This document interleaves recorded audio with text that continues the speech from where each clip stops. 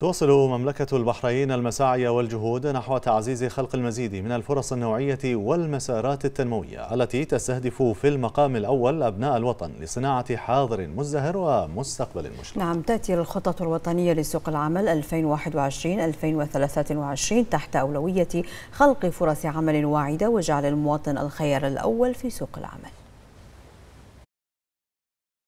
خطة وطنية هادفة. تسهم في نمو القطاعات الاقتصادية من خلال توظيف عشرين ألف بحريني وتدريب عشرة ألاف بحريني سنوياً لتكون المولدة للوظائف وذلك ضمن خطة التعافي الاقتصادي. الخطة الوطنية لسوق العمل 2021-2023 حققت ما نسبته 72% من هدف توظيف 20 ألف بحريني سنوياً حتى عام 2024 حيث تضمنت آخر مستجدات التوظيف والتدريب خلال النصف الأول من العام 2022 بتوظيف أكثر من 14 ألف مواطن حيث بلغت نسبة الارتفاع 19% مقارنة بالفترة ذاتها من العام المنصرم.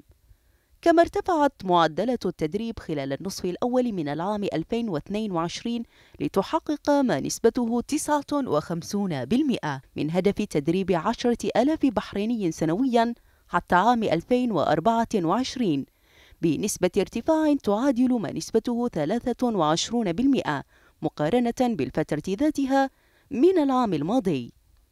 كما انخفضت نسبة البطالة في النصف الأول من العام الحالي. لتبلغ 5.7% مقارنة ب 7.7 خلال جائحة فيروس كورونا. وزارة العمل تستمر في إطلاق المزيد من المبادرات التي تسعى إلى زيادة الآليات المحفزة على توظيف المواطنين وإدماجهم في سوق العمل لتؤكد أهمية القدرات البحرينية في تطوير القطاعات الإنتاجية